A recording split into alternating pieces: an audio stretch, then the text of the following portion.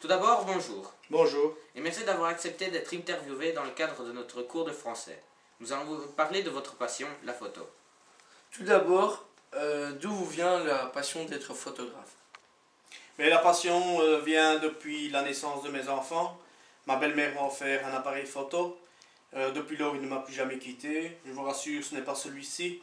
euh, car à l'époque, il y a plus de 15 ans, euh, c'était encore en pellicule. Celui-ci, c'est numérique. Euh, Est-ce vous qui choisissez le thème des photos ou les personnes qui vous engagent? Bon, en général, c'est les clients qui choisissent le thème. Mais bon, ben voilà, parfois on en parle ensemble. Mais comme je dis toujours, le client est roi. Est-ce que vous vous inspirez du style d'autres photographes? Oui, je voyage beaucoup sur des sites étrangers, mais j'ai mon propre style. Mais Alors de qui et pourquoi? Ben de, de studio Harcourt. Et pourquoi? Tout simplement parce qu'il joue avec la lumière et c'est ce que j'aime faire.